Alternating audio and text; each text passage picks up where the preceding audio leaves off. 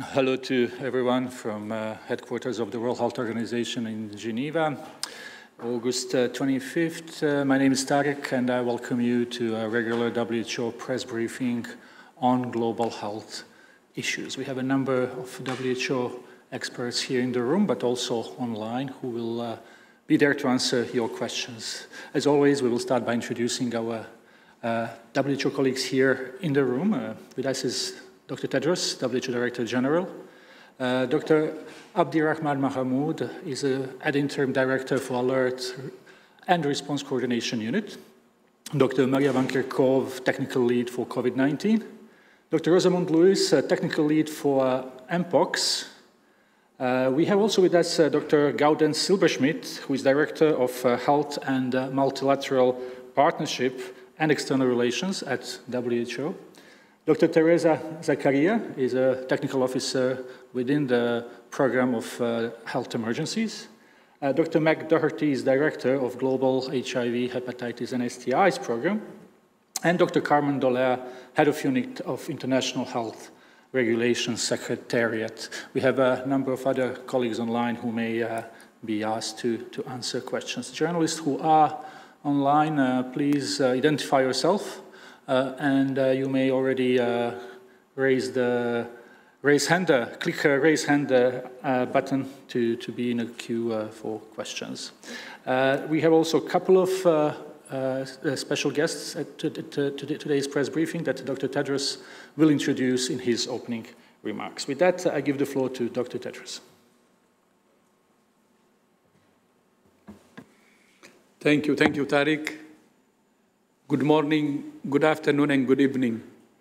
Two weeks ago, I issued standing recommendations for countries on the long term management of COVID 19. I said then that COVID remains a global health threat.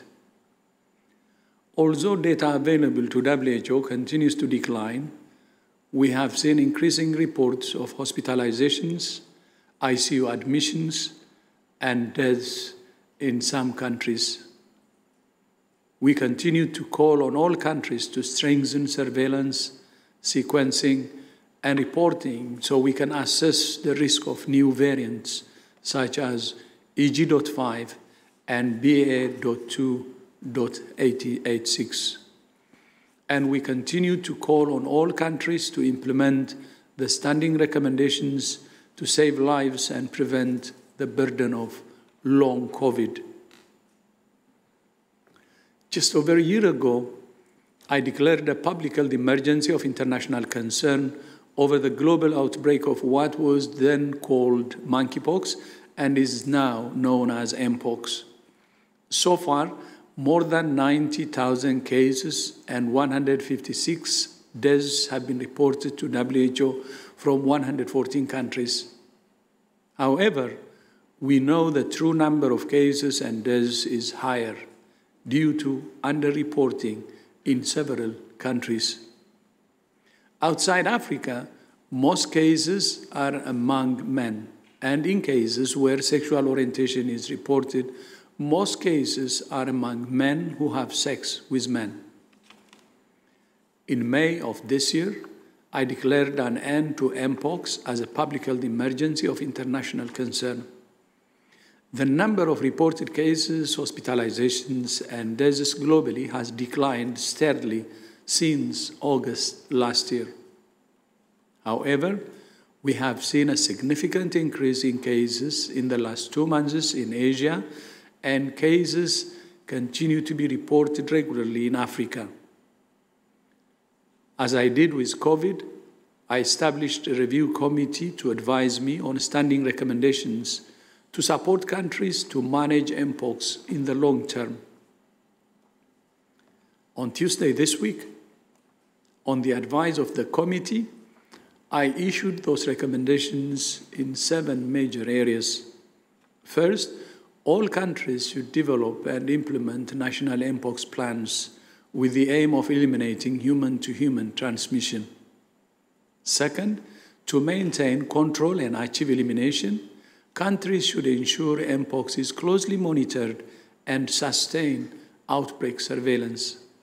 Third, all countries should enhance community protection through risk communication, working closely with community representatives and organizations, and by combating stigma and discrimination.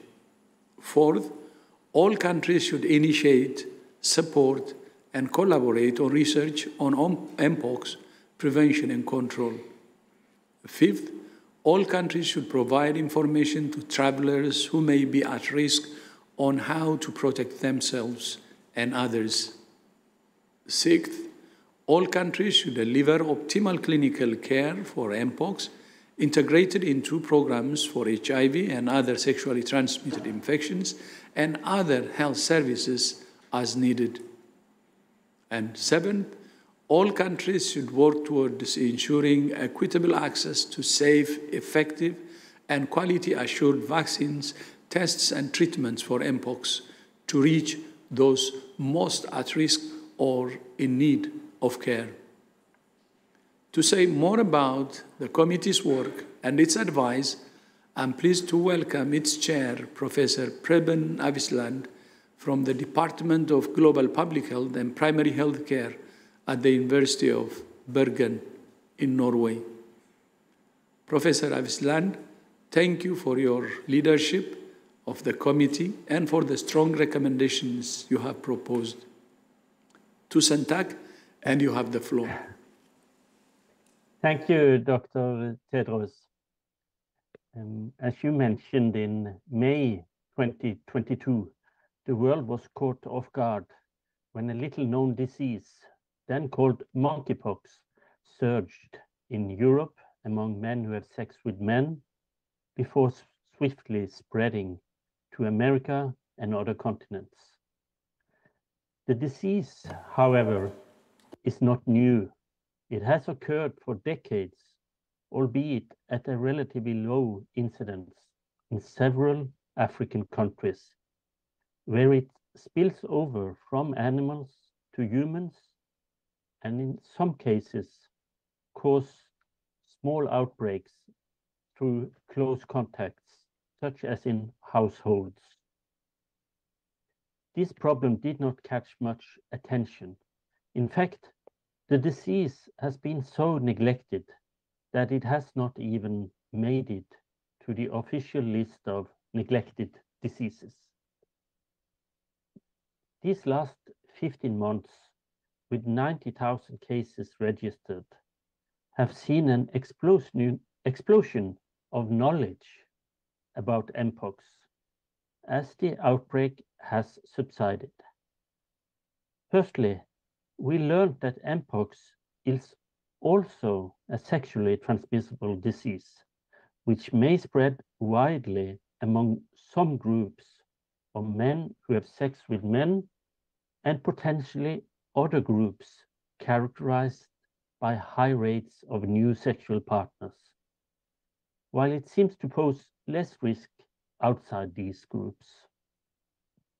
Secondly, we learned that outbreaks of Mpox transmitted between humans can be stopped effectively through swift case detection, contact tracing, targeted communication to heighten symptom recognition and mitigate risky behaviors, as well as strategic vaccination.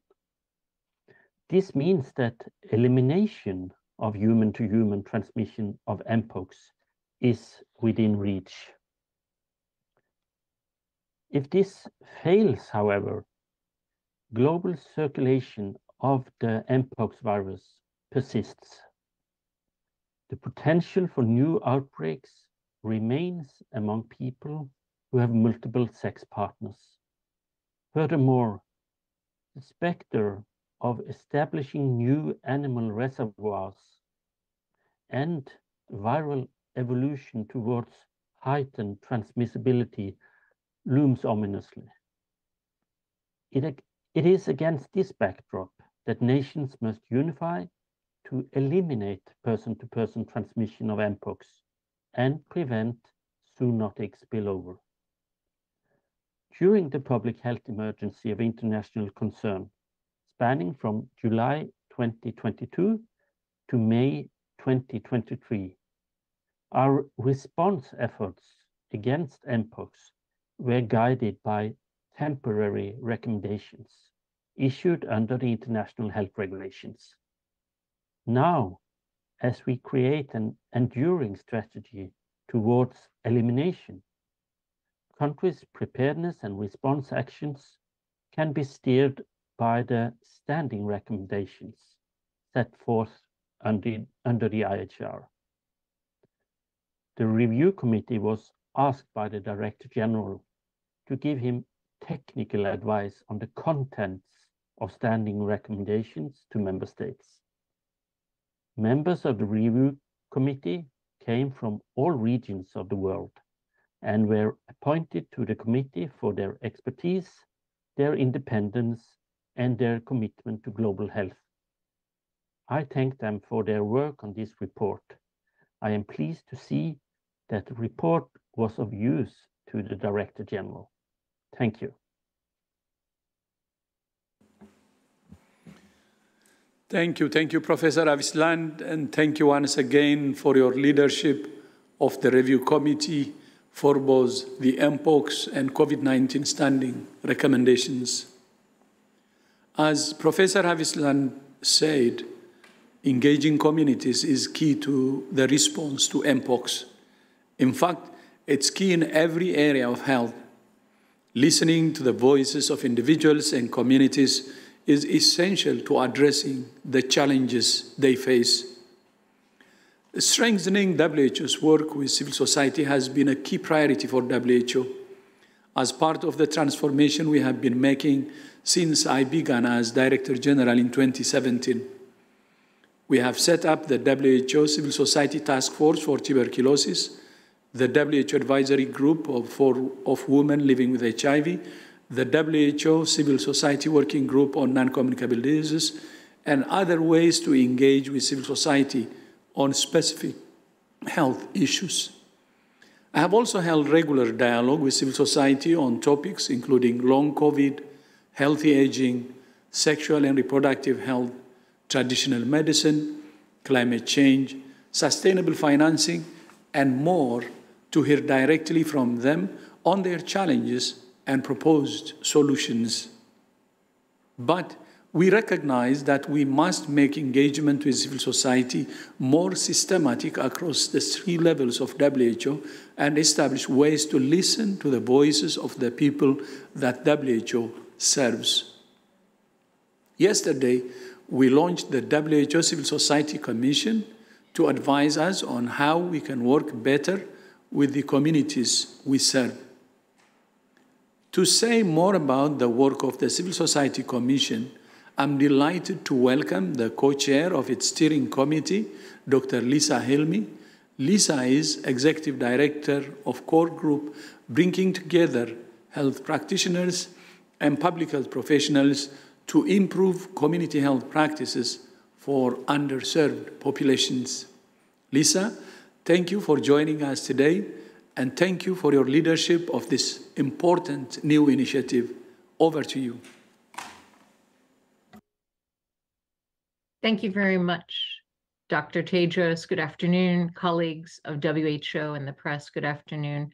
And thank you very much for your time today to hear about the newly appointed WHO Civil Society Commission and Steering Committee. My co-chair, Ravi Ram from Kenya, couldn't be here today, but he is here in spirit. And it is our honor to be the co-chairs for the Civil Society Commission's Steering Committee. Our WHO Secretariat Chair of the CSO Commission, Dr. Gaudenz Silberschmidt, is with you today in Geneva. This is a historical decision by Dr. Tedros and WHO to formalize and legitimize how WHO works with civil society in an intentional manner. There is a lot of work to be done, as traditionally civil society has not always been engaged in a relevant manner in the past. It is a learning process, and we're excited to be on this journey with WHO. Civil society represents a wide array of non-governmental and non-for-profit organizations. They have an active presence in the community, national, regional, and global efforts to prevent, detect, and respond to health issues from humanitarian to development contexts. They have a vital role in all global health issues. The Civil Society Commission was a concept that took several years of discussion between Dr. Tedros, WHO, and many civil society representatives. It's important to note that before Dr. Tedros was even elected in his current role as the Director General, he was actually consulting civil society. So it's promising that he has taken action on the vision and that the Civil Society Commission will be institutionalized in WHO.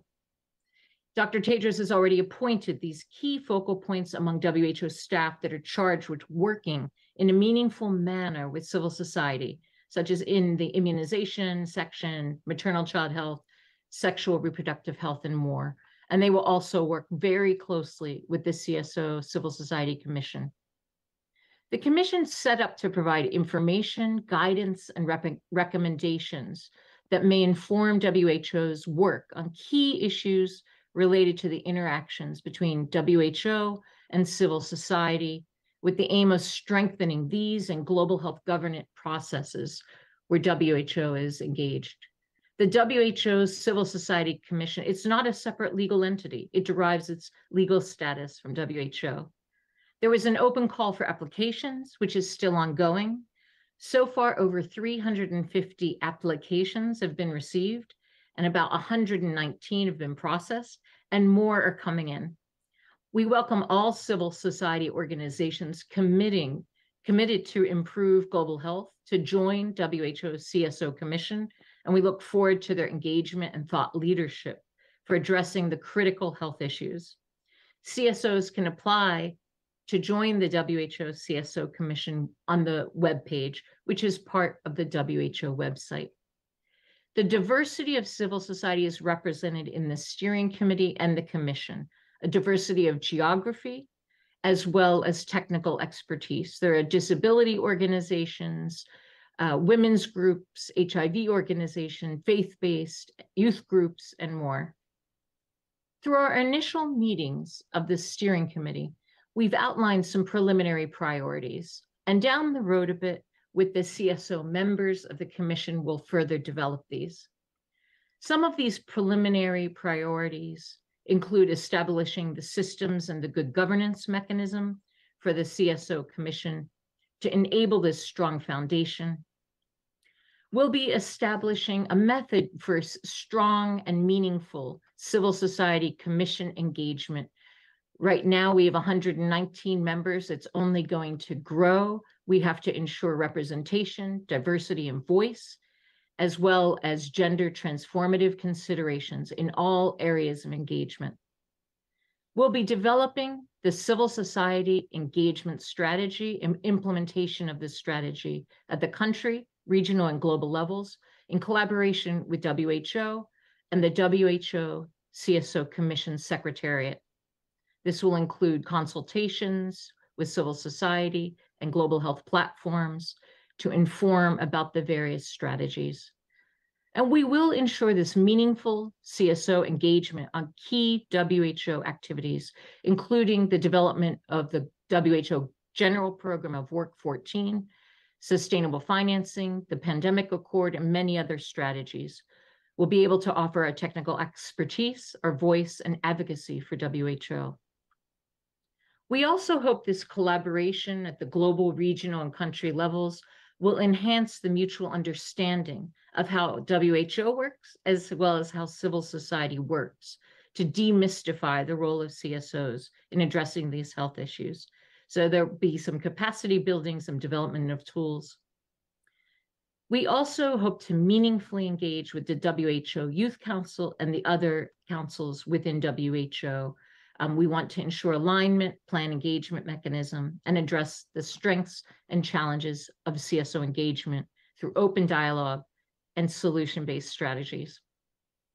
We've asked the Director General to support the Civil Society Commission to ensure we are able to accomplish our mission through regular discussion, consultation, advocacy, financial resource, and permitting space, openness, flexibility, so we can support WHO and their strategies through meaningful action without tokenism. it is important that the Civil Society Commission can actually accomplish its goal and catalyze civil society members to support and guide WHO. I'm happy to report that Dr. Tedros has already pledged his unwavering commitment and financial support, and we're looking forward to working with him and WHO generally to address global health priorities. Thank you, and I look forward to your questions. Thank you. Thank you so much, Lisa, once again. And I look forward to working with you very closely in the months and years ahead. Uh, before we move to Q&A, a few words on a couple of other issues. Uh, last week, I had the honor to be in India for the G20 Health Ministers meeting. One of the main health outcomes of India's G20 presidency is the launch of the Global Initiative on Digital Health. Over the last two decades, the power and potential of digital technologies for health, including artificial intelligence, has exploded. One of the main challenges we face is significant fragmentation driven by the proliferation of new digital tools. The global initiative on digital health will help to overcome this fragmentation by converging and convening global standards and best practices. Most importantly, the initiative puts countries at the center, listening to what they need, aligning resources to support them, and providing robust building blocks which enable local entrepreneurs to support public health priorities. Alongside the G20 health ministers meeting in India last week, WHO also held the first global summit on traditional medicine. Throughout history, people in all countries and cultures have used indigenous knowledge, natural resources, and traditional, complementary, and integrative medicine to meet their needs for health and well being. For hundreds of millions of people, traditional medicine is simply medicine. They rely on it for their health and well being. And many of the most important treatments in so called conventional medicine have their origins in traditional medicine, including artemisinin, the backbone of malaria treatment, drugs for child aspirin, contraceptive pills, and the smallpox vaccine. Of course, traditional medicine has its own value, independent of what it contributes to conventional medicine. And yet, too often, traditional medicine is stigmatized or dismissed as unscientific. Let me be very clear.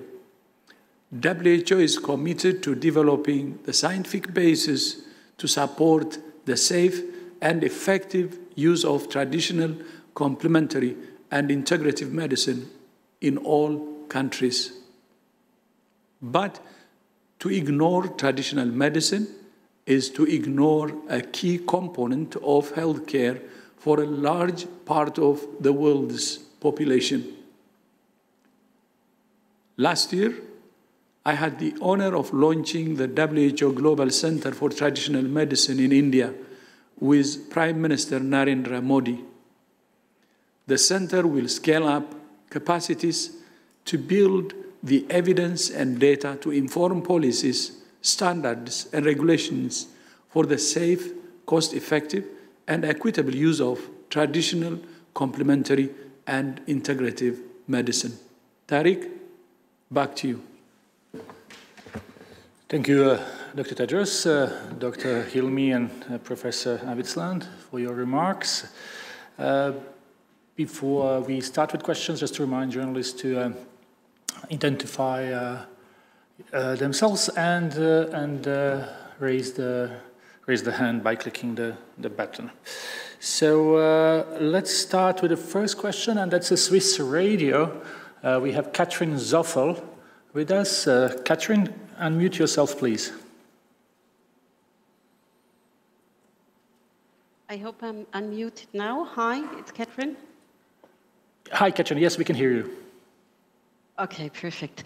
Um, my question is regarding the surveillance of the coronavirus, SARS-CoV-2, and I understand like that there is probably not enough surveillance, and maybe you can give me a few more details um, on why continued surveillance of cases, death, hospital, hospitalization, also long COVID and variants might be important. Thank you very much, Katrin. Uh, Dr. Van Kerkhove. Um, thanks, Catherine, for this uh, question. Um, surveillance for COVID, surveillance for the virus that causes COVID, SARS-CoV-2, remains critically important for us to be able to track so that we can understand the viruses that are in circulation. The virus continues to evolve, and there are a number of variants that are in circulation, some of which we've recently classified as variants under monitoring or variants of interest, um, and all of these are under Omicron. Surveillance is really important so that we can track trends and we can understand um, severity, we can understand its impact in the population at a population level. While we are certainly not in the same situation um, of the pandemic than we were in a year ago or two years ago, SARS CoV 2 circulates in all countries right now, and it is still causing a large number of infections and reinfections, of hospitalizations, of admission to ICU, and of deaths. And we know a number of individuals around the world, a large number of individuals around the world, are suffering from post COVID condition or long COVID. Just some statistics on surveillance that has been declining in the last year. Out of 234 countries and territories, WHO has data on cases in 103 of those. That does not mean that the virus is not circulating in a number of countries that, have not, that are not reporting. We only have data on hospitalizations from 19 countries and territories. We have data from 17 countries on ICU, and we have countries, uh, we have data on deaths from 54 countries. And this is out of 234 countries and territories. So we don't have good visibility on the impact of COVID 19 around the world. Surveillance is not only important for tracking the variants, but it's also important for individuals to know if they are infected or not, so that they can receive the appropriate clinical care that they need, um, so that they don't require hospitalization, and if they do require clinical care, that they don't progress to severe disease and death. So it is really important that surveillance continues, and this is um, on the shoulders of governments right now. Um, governments have, have worked incredibly hard over the last three and a half years to increase PCR based capacities, to increase the workforce to deliver clinical care, to implement and uh, utilize vaccines that are safe and effective at preventing severe disease and death. And these are the systems that need to remain because the virus has not gone away. While we are no longer in the crisis, as the DG um, declared that we are no longer in a public health emergency of international concern, the threat for COVID remains. And this is why surveillance remains absolutely critical. And one of the elements that the DG recommended in the standing recommendations issued earlier this month was about surveillance, ensuring that surveillance continues, but also reporting continues as well. Thank you, Dr. Van Kerkhove. Uh, we have uh, a couple of other reporters online, but I would just like, uh, uh, like to read a question for, for Dr. Hilmi that we received in a chat asking about civil society commission. Are universities that have NGO status eligible for civil society commission membership? So if you can just maybe clarify briefly on, on, on membership. Thank you so much. So there is a review process um, on uh, the website, um, and civil society of all types is welcome to apply. Um, there are various, uh, that the guidelines are on the website, and um, there will be a process of review. So really, civil society at the global, regional, and national levels are welcome to apply. Thank you. And Dr. Silberschmidt? Thank you. And, uh, building on what, uh, what Lisa just explained, we try to take all those who, who are considered as NGOs, as, as civil society, and who act as. So it might be uh, as part of, uh, of a university, but if the, if the entity acts as, a, as like an NGO civil society, we do look, look at, and our review process looks at, are there actually civil society, and do they fulfill other um, due diligence criteria of WHO, such as no tobacco or arms linked, that or or non not excessive uh, private sector influence. And that's what we are currently going through with the due diligence process. Many thanks, Dr. Hilmi and Dr. Uh, Silberschmidt. Uh, let's go to next question. Erin Prater from uh, Fortune. Erin?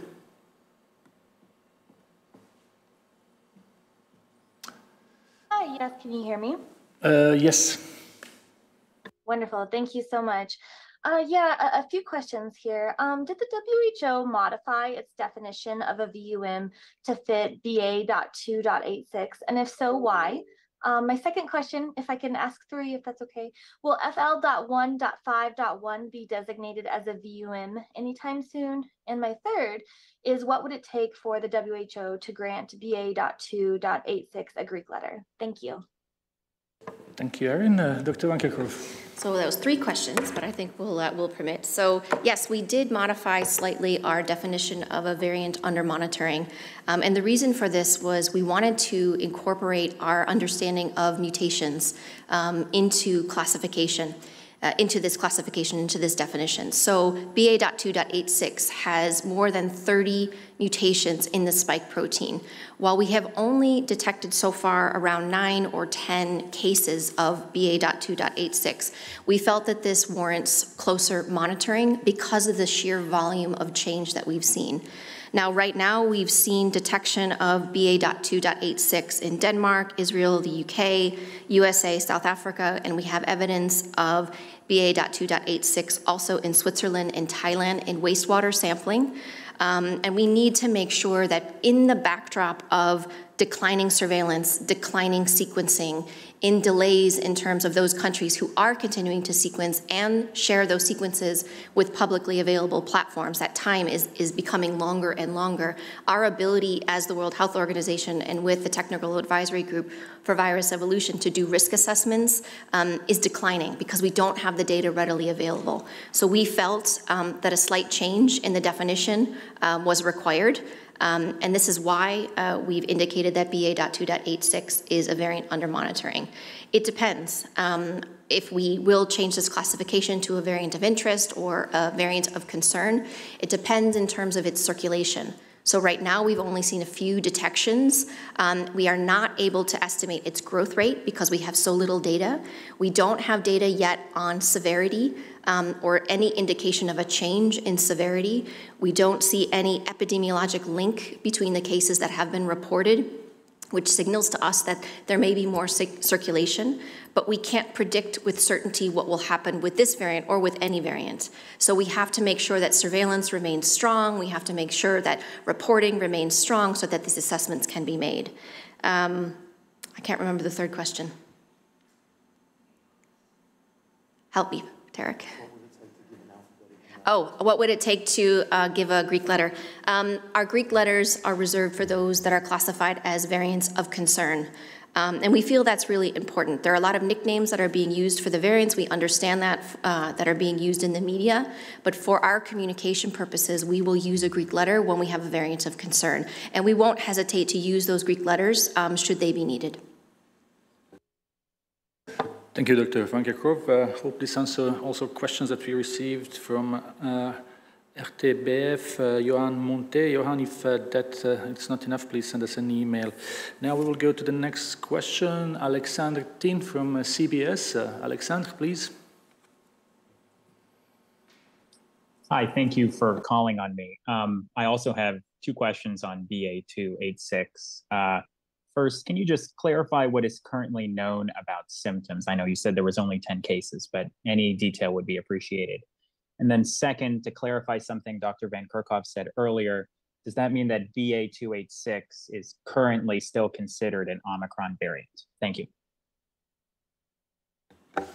So yes, um, the latter part of that, yes. So BA.2.86 is still considered part of Omicron, um, although the number of mutations makes it highly divergent from BA.2 and the circulating XBB variants.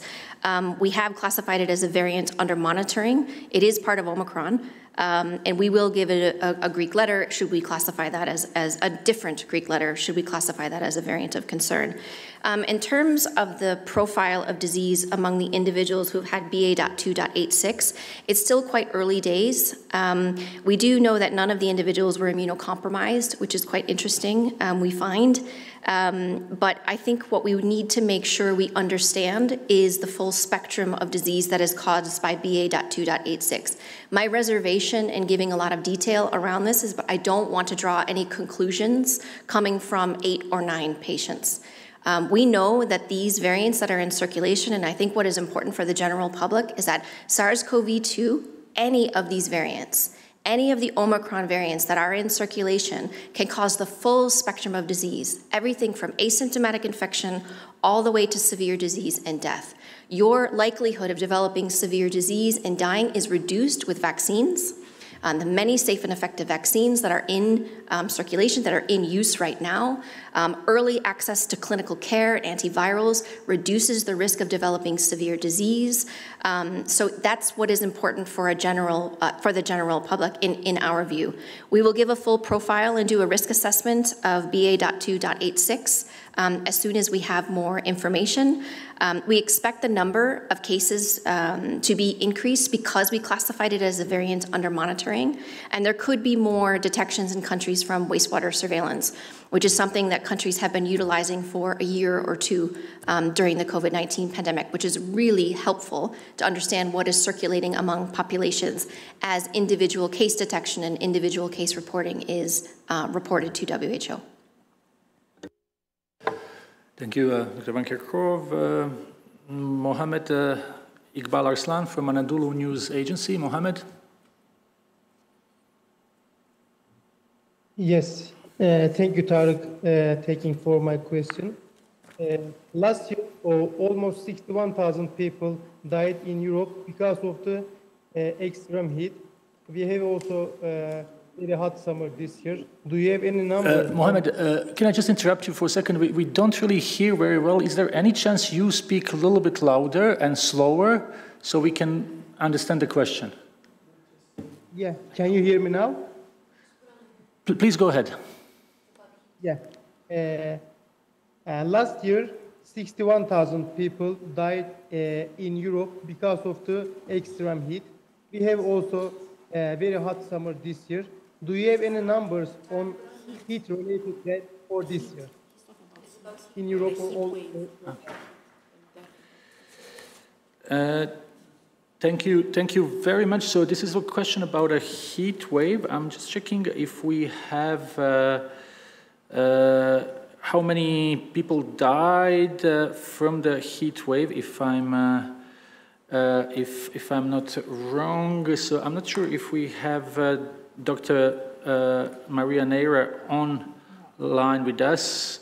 Uh, but what I know uh, is that um, we had figures for last year uh, in Europe, and that was uh, uh, European Health Institutes that published a study that was published now in July, saying that last summer, so summer 2022, that was the, the, the hottest in the history, uh, we had uh, over uh, 61,000 heat-related deaths in 35 European countries. So these are the figures that we have for last year. Obviously, it's too early to have figures for, for this year. And what we can do, maybe, uh, Mohammed, is to um, is to uh, uh, put you in touch with Dr. Maria Neira and and her team for any any follow-up questions. Now uh, let's go back to, to Katrine from Swiss Radio. She has a follow-up question.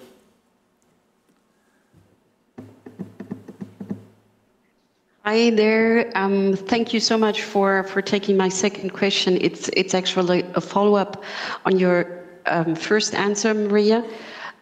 Um, when communicating now about um, Corona, you, you know the reality that people think, well, finally, at last, it's just the flu.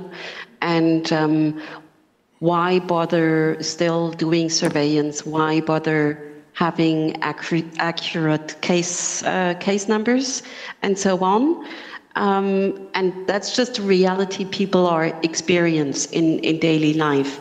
And I find it very hard to kind of answer that because what you are saying is just so different. Can you give, do, do you have any um, information that might help bridge that gap? So thanks again for the follow-up. Um, indeed, what you've pointed out is that it is incredibly difficult to communicate right now the risk and the threat that we see for COVID-19 because effectively around us, the world has moved on and everybody is living their lives and, and, and we welcome this. We are glad that the world is back open up again. But the virus continues to circulate. So while we're in a much better situation uh, with COVID than we were a couple of years ago, the virus still poses a threat. And it poses a threat for a number of reasons. One is because the virus is evolving and it's changing, and we cannot predict with certainty of what those changes will mean. Will it be more transmissible? Likely. Will it be more severe? We don't know, and we need to prepare for that. We need to use the systems that we have in place of surveillance, of clinical care, of, of supporting our exhausted workforce to be able to care for patients, particularly those who are at risk of severe disease, over 60, immunocompromised, people with underlying conditions, to make sure that they receive the clinical care that they get, to make sure that vaccines are utilized optimally, uh, making sure that you get a booster if you are required to get a booster um, according to the recommendations in your country and the risk group that you are in. Um, but the virus right now is reinfecting a large number of individuals, millions of people each week. Um, we don't have um, a good gauge on how many reinfections or infections there actually are because surveillance has declined, but we do have some indication on trends of impact and what I mentioned on the hospitalizations. And we are seeing a number of countries, primarily in Europe, but this has to do with reporting, that are seeing increases in hospitalization in the last month. Um, and this is the northern hemisphere temperate regions where we're in our summer period. And that is not expected if you are thinking of a respiratory pathogen like influenza that typically has peaks in the winter months um, in the temperate regions of the globe.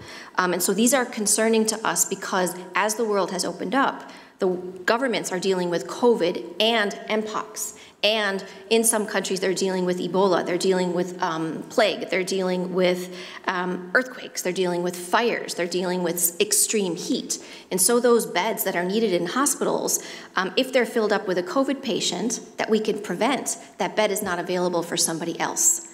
And so there's more that needs to be done in terms of surveillance, in terms of reporting, but also ensuring good clinical care, making sure that we use the safe and effective vaccines.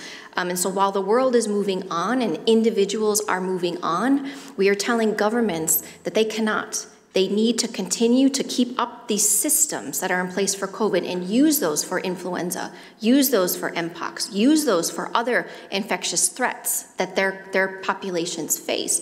Because what you have done for COVID in the last three and a half years is beneficial for all infectious pathogens. And we hear countless times from governments saying what we put in place for COVID was useful for Mpox, what we've put in place for COVID was useful for cholera, is useful for the other um, threats that they face. And so that's what we are trying to discuss. So while the world is moving on, individuals need to know what is their risk as they live their lives. If they are in a vulnerable group, make sure you are boosted. Make sure you think about what you're doing. Um, and if you're in a population, if you're in a crowded area, and wear a mask. Make sure that we look at ventilation in the indoor spaces where we work, where we live, where we go to school.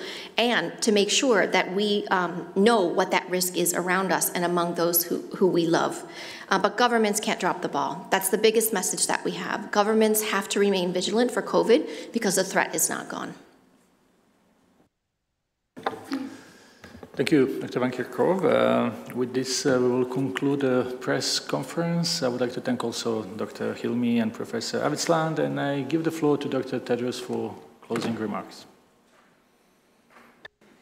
Thank you, thank you so much. Again, I uh, would like to thank Dr. Hilmi and Dr. Aavitsland for joining us today and for your leadership. Uh, and I would also like to thank the members of the press corps who joined today and see you next time. Thank you.